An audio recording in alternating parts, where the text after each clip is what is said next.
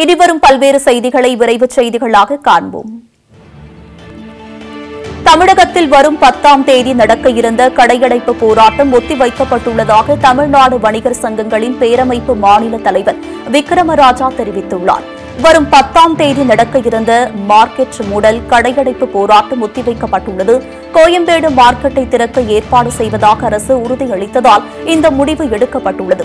இந்துக்களின் முக்கிய பண்டிகையான கிருஷ்ண ஜெயந்தி வர இருப்பதாலும் போராட்டம் ஒத்திவைக்கப்பட்டுள்ளதாக விக்ரமராஜா அறிவித்துள்ளார். கிருஷ்ணகிரி மாவட்டம் மூத்தங்கரை அருகே குடும்ப தகராறில் உயர்மின் அடுத்த கோபுரத்தில் ஏறி தற்கொலைக்கு முயன்றவரை போலீசார் மீட்டனர். ஊத்தங்கரை அடுத்த கொல்லனூர் கிராமத்தைச் சேர்ந்தவர் விஜய். இவரது மனைவிக்கும் இவருக்கும் குடும்ப சண்டை இருந்து வந்துள்ளது. இந்நிலையில் குடிபோதையில் திடீரென நூற்று ஐம்பது அடி உயரமுள்ள உயர்மின் அடுத்த கோபுரத்தில் ஏறி தற்கொலைக்க முயன்றுள்ளார். உடனடியாக தீயணைப்புத் துறையினருக்கு தகவல் தெரிவிக்கப்பட்டு சம்பவ இடத்திற்கு வந்த அவரிடம் பேச்சுவார்த்தை நடத்தி அவரை கீழே இறக்கினர். பின்னர் விசாரணை மேற்கொண்டதில் குடும்ப பிரச்சினை காரணமாக மன உளைச்சல் ஏற்பட்டு இந்த முடிவை எடுத்ததாக கூறினார். இந்த சம்பவத்தால் அந்த பகுதியில் சிறிது நேரம் பரபரப்பு ஏற்பட்டது. திருவள்ளூர் மாவட்டம் திருத்தணியில் தொடக்க பள்ளி மாணவர்களுக்கு தமிழக அரசின் விலையில்லா பாடப்புத்தகம் புத்தகப்பை வழங்கும் பணியை எம்எல்ஏ நரசிம்மன் தொடங்கி வைத்தார். திருத்தணி கல்வி மாவட்டத்தில் திருத்தணி திருவாலங்காடு ஆர்கேபேட்டை பள்ளிப்பட்டு ஆகிய ஒன்றியங்களில் உள்ள ஊராட்சி ஒன்றிய தொடக்க பள்ளிகளில் இரண்டு முதல் ஐந்தாம் வகுப்புகளில் படித்து வரும் மாணவ மாணவியருக்கு விலையில்லா பாடப்புத்தகம் புத்தகப்பை நரசிம்மன் எம்எல்ஏ வழங்கினார். விருதுநகரில் அகில இந்திய வழக்கறிஞர் சங்கம் சார்பில் ஒருங்கிணைந்த நீதிமன்ற வளாகம் முன்பு கண்டன ஆர்ப்பாட்டம் நடைபெற்றது. இதில் வழக்கறிஞர்களின் நலனை பாதுகாக்க நீதிமன்றத்தில் உரிய மருத்துவ பாதுகாப்போடு வழக்கறிஞர்களை உள்ளே அனுமதித்து நீதிமன்ற பணிகள் நடைபெற உயர்நீதிமன்றம் நடவடிக்கை எடுக்க வேண்டும். வழக்கறிஞர்கள் அனைவருக்கும் வட்டியில்லா கடனாக ரூபாய் மூன்று லட்சம் தமிழக அரசு வழங்க வேண்டும் போன்ற கோரிக்கைகளை வலியுறுத்தி இந்த ஆர்ப்பாட்டம் நடைபெற்றது. காஞ்சிபுரம் மாவட்டம் முத்திரமேரூர் அடுத்து அழிச்சூர் ஊராட்சியில் பொதுமக்களுக்கு சுகாதாரத்துறை சார்பில் கொரோனா தடுப்பு சிறப்பு மருத்துவ முகாம் நடைபெற்றது. உத்திரமேரூர் அடுத்து அழிச்சூர் ஊராட்சியில் கொரோனா தடுப்பு மருத்துவ முகாம் நடைபெற்றது. மருத்துவ முகாமில் காய்ச்சல் நாடி துடிப்பு இதய துடிப்பு ரத்த பரிசோதனைகள் மேற்கொள்ளப்பட்டு. பொதுமக்களுக்கு நோய் எதிர்ப்பு சக்தி மாத்திரைகள் கபசுர குடிநீர் உள்ளிட்டவை வழங்கப்பட்டது. திருவள்ளூர் மாவட்டம் எல்லாபுரம் ஊராட்சி ஒன்றிய வட்டார வளர்ச்சி அலுவலகத்தில் ஒன்றிய குழு உறுப்பினர்கள் கூட்டம் நடைபெற்றது. இதில் கலந்து கொண்ட உறுப்பினர்கள் அம்மா சுமன்ற முறைகேடுகளின்றி பாரபட்சமின்றி அனைவருக்கும் கிடைக்க நடவடிக்கை எடுக்க வேண்டும் என கோரிக்கை விடுத்தனர். மேலும் கேரளாவைப் போல தமிழகத்தில் உள்ள ஊராட்சி குழு உறுப்பினர்கள் மாவட்ட கவுன்சிலர்கள் உள்ளிட்ட உள்ளாட்சி பிரதிநிதிகளுக்கு ஊதியம் வழங்க நடவடிக்கை எடுக்க வேண்டும் என்றும் அவர்கள் கோரிக்கை விடுத்தனர். மேலும் உள்ளாட்சிகளில் உள்ள ஏரி குளங்களில் முறையாக தூர்வாரி மழைநீரை சேமிக்க நடவடிக்கை எடுக்க வேண்டும் என்று கோரிக்கை விடுத்தனர். இதனைத் தொடர்ந்து திருவள்ளூர் மாவட்டத்தில் வேகமாக பரவி வரும் கொரோனா வைரஸ் பரவலை தடுக்கும் வகையில் இந்த கூட்டத்தில் பங்கேற்ற ஊராட்சி குழு உறுப்பினர்கள் அனைவருக்கும் கபசர குடிநீர் தயாரிக்கும் மூலிகை பாக்கெட்டுகளை வழங்கினர். திருச்சி அரியமங்கலத்தில் ஒரு ஏக்கர் பரப்பளவில் உள்ள வாழை மரங்களை வெட்டி சாய்த்த மர்ம நபர்கள் மீது நடவடிக்கை எடுக்க உரிமையாளர் காவல் நிலையத்தில் புகார் அளித்துள்ளார். அரியமங்கலத்தைச் சேர்ந்தவர் சசிகுமார் இவர் ஆர் கே நகரில் குத்தகைக்கு எடுத்த ஒரு ஏக்கர் விவசாய நிலத்தை வாழை நட்டு பராமரித்து வந்தார். இந்நிலையில் கடந்த நான்காம் தேதி வயலுக்கு வந்த விவசாயி ஒருவர் வாழை மரங்கள் வெட்டி சாய்ந்திருப்பதைக் கண்டு அதிர்ச்சியடைந்தார்.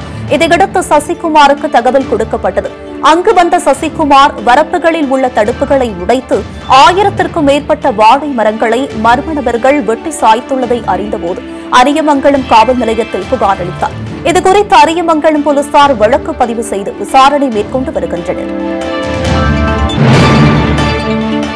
திருவள்ளூர் மாவட்டம் மூத்துக்கோட்டை சாலையில் ஓடும் சாக்கடை நீரால் பாதசாரைகள் வாகன ஓட்டிகள் பெரும் இன்னலுக்கு ஆளாகியுள்ளனர் திருவள்ளூர் மாவட்டம் மூத்துக்கோட்டை நெடுஞ்சாலையில் ஆரணி ஆற்று பகுதியில் பாலம் கட்டும் பணி கடந்த இரண்டு ஆண்டுகளாக நடைபெற்று வருகிறது. இதில் சுமார் இருநூறு மீட்டர் தூரத்தில் தற்போது பாதாள சாக்கடை திட்டம் நடைபெற்று வரும் நிலையில் சாக்கடை நீர் செல்ல வழியில்லாமல் சாலைகளின் மேல் ஆறு போல செல்வதால் அப்பகுதி மக்கள் பெரும் சிரமத்திற்கு ஆளாகி வருகின்றனர்.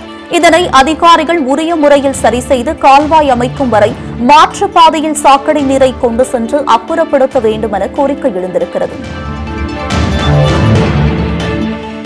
விருதுநகர் மாவட்டம் நரிக்குடி சமத்துவபுரம் பகுதியைச் சேர்ந்த பிரபு என்ற இளைஞர் சாதி பெயரை சொல்லி திட்டிய வழக்கில் அவரை நரிக்குடி காவல்துறையினர் கைது செய்தனர். பின்னர் அவர் ஸ்ரீவில்லிபுத்தூர் நீதிமன்றத்தில் ஆஜர்படுத்தப்பட்டு கொரோனா பரிசோதனைக்காக மதுரை அரசு மருத்துவமனையில் பரிசோதனை செய்யப்பட்டு அவரை சிறையில் அடைக்க காவல்துறையினர் அழைத்து சென்றனர். அப்போது ஸ்ரீவில்லிபுத்தூர் கிளை சிறையை நெருங்கிய போது காவல்துறையினர் அசந்த நேரத்தில் பிரபு தப்பி ஓடிவிட்டார்.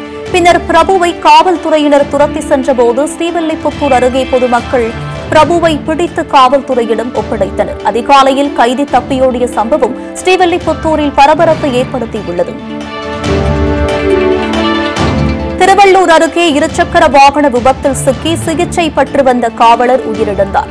திருவள்ளூர் மாவட்டம் திருப்பாலைவனம் காவல் நிலையத்தில் பணிபுரிந்து வந்த திருவண்ணாமலை மாவட்டம் வீரப்பன கிராமத்தைச் சேர்ந்த காவலர் அண்ணாதுரை இருசக்கர வாகனத்தில் கடந்த ஜூலை மாதம் இருபத்தி மூன்றாம் தேதி பொன்னேரி அருகே உள்ள உப்பளம் கிராமத்தில் வேகத்தடையில் நிலைத்தடுமாறி இருசக்கர வாகனத்துடன் விழுந்து விபத்துக்குள்ளானார். அவர் தலையில் படுகாயத்துடன் சென்னை ஸ்டான்லி அரசு மருத்துவமனையில் சிகிச்சை பெற்று வந்த நிலையில் சிகிச்சை பலனின்றி அவர் பரிதாபமாக உயிரிழந்தார். இருசக்கர வாகன விபத்தில் சிக்கி சிகிச்சை பலனின்றி காவலர் உயிரிழந்த சம்பவம் சக காவலர்களிடையே சோகத்தை ஏற்படுத்தியுள்ளது. ராணிப்பேட்டை மாவட்டம் அரக்கோணம் அருகே இருளர் இன மாணவ மாணவிகளுக்கு ஆன்லைன் கல்வி பயிலும் வகையில் டிவி மற்றும் பாடப்பொருட்களை தனியார் கல்வி அறக்கட்டளை வழங்கியிருக்கிறது.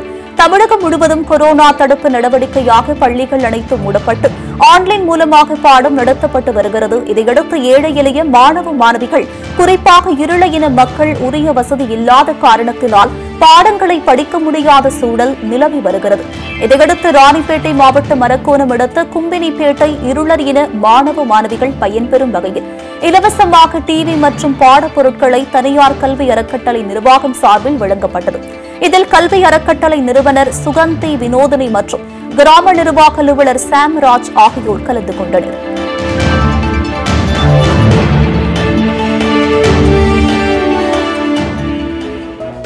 இத்துடன் இந்த செய்தி தொகுப்பு நிறைவு பெறுகிறது. உண்மை செய்திகளை உள்ளது உள்ளபடி உடனுக்குடன் தெரிந்து கொள்ள.